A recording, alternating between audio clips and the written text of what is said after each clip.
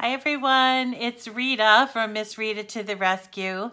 Uh, today I'm going to show you a really cute and free file that I found at 3dsvg.com. It's also known as Dreaming Tree. I'm fighting a little bit with the sun this morning now that the weather has, or the seasons is about to change. Um, so I need to come up with a better setup. So I'm, I, I apologize for the glare. But this is a, just is an adorable little apple bushel basket that has um, both an inside and the outside the band, which you can make in a traditional um, look. You see? Or you can do in a in a more um, modern look or a more eclectic look, I suppose. Here's one. Uh,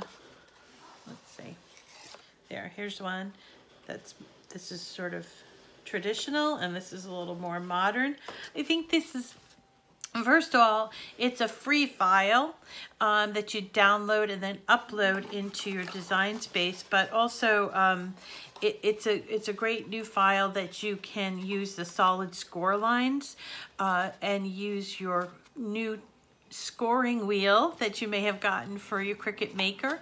So I want to show you how to put this together. So stay with me and we'll put this together. Okay, so real quick to put these together. Um, they cut out, these are the main pieces, which I've actually already joined. This, it's two pieces with the bottom. And I've folded it uh, at the score lines and I've joined the two seams. You can see here and here. And one little tip about that when you join the seams, make sure you fold it and then open it up and fold it in a different place so that it's it's flat, see? And then you're gonna put in all of these little tabs, you see?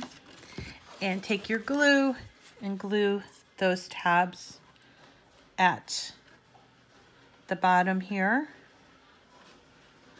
and you're going to be more careful than I am. I'm just showing you this as illustration, but then you're going to close it up and make sure that the edge meets the bottom edge in a nice, neat uh, way. And then a further, like, sort of assurance that it's going to meet, the, the edges are going to meet correctly would be the inside piece that you glue the wrong side to and sort of pop it into the bottom. Make sure. There we go.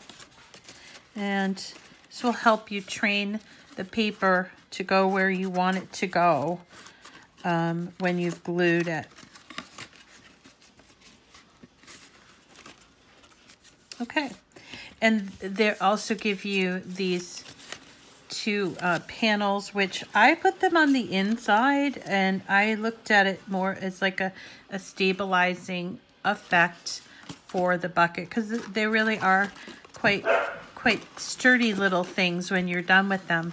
They give you also these um, handles. Now you can use the handles and, and also these uh, bindings across to make it look really authentic. Like for instance, this looks very authentic with these bindings in the handle. Uh, you don't have to. Um, some of them you can you can do without that strapping that uh, would be around just maybe if you have a certain color scheme that you're going for but to put the strapping on it's consist consists of three um, different sized strapping actually it's two of the same length. See that? There's two. Um, and there's a longer, there's a short, medium, and the longest being at the top. And very easy to, to put these on. They fold in threes. And then you've got, you know, this, um, you've got enough for six. You're going to put glue on the inside Let's see. And again, you're going to be much neater than I am. but it goes along the edge. In this case, this is the longest one, so it goes along the top edge. You see, and it covers half. And then we do the same with the second piece.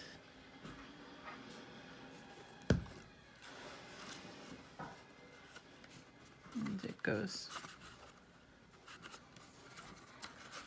along this edge. Isn't that adorable? And really that's all there is to it. Just three pieces, the handle inside to hold it. So wasn't that really simple, easy, um, this cute and free uh, file that you can get from 3D SVG. And I want to thank the guys over there, Leo, uh, Ron, uh, for putting together these free files. They actually have quite a few free files that you can you can take advantage of if you hop on over there and, and look under the tab that says free files.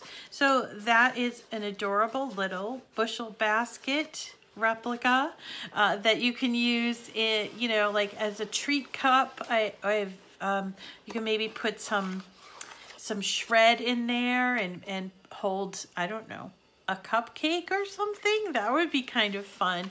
Anyway, it's a nice little addition to your home decor or perhaps your, um, office decor or maybe you're having a party there this is great this would be great for a little party favor that you could put at each of the each of the table settings. So hop on over and get this file and put it together. It's really fun.